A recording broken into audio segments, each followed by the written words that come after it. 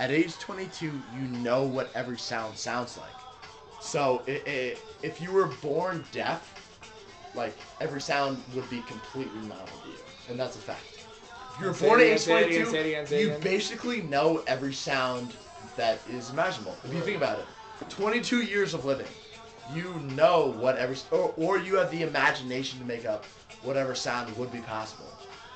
And then when you go deaf, you would probably forget that eventually, because like 10 years of not knowing what sounds are would probably erase the memory you had of the sounds that you heard through about when you're 30, ages zero thir- through 30 to 22. 20, or are you talking at Yeah, I say say you go say you go deaf at 22. At age 32, do you think you would remember You forget laughter? I don't think you forget laughter. w- Do you think you would forget? Do you laughter? forget horn? I- what a horn, horn, horn sounds? No, you probably wouldn't forget what a horn was. Beep. Or or I would remember you? Beep. No, it's not because all you would do if you were deaf would be read. And every Yeah, time you read read, so and every time much. a car was involved, it would remind you A beep. that a beep was the sound of. a- Whereas I don't think you forget. the the sound the sound of beep would be a beep, and you that would just remind you. And every time you read a book, which is Yeah, all you would so ever be your point- doing, your point? would remind you of What's, those. what the, what's your point though? Books I have remind no you of idea. sounds. If you were deaf, The books And you were not you born sounds. deaf, That's the zero. ultimate point you're trying to make. Books are sounds. the ultimate. I, yeah, I feel like that's right. Yeah. I feel like the ultimate point is That's a that sick point. if though. you That's a read sick books and you weren't born deaf, you would be able to continue the thought of the sound of point. anything. No, well, that's why so you could is so important.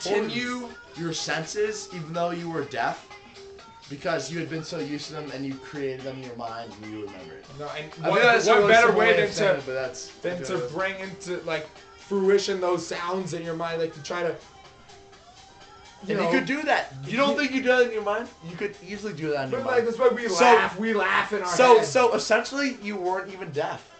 Because This is the imagine every time, every time someone lifted up their leg and went like this, you would just make up the But- fart sound in right- your mind and well, you would right hear now. it. No, and saying you like- would laugh hysterically it, because right? it'd be so funny. As like right now, like Imagine if we were on the plane when we went have on Air stuck in your India and I and I stepped on the Indian. Air immediately. Service alcohol. Kane pulls out his pants and, And farts in the person if in the back deaf seat. and I stood up. I, I said I'm gonna I, I'm gonna fart. And I stand up on the cushion and I fart, but you were deaf.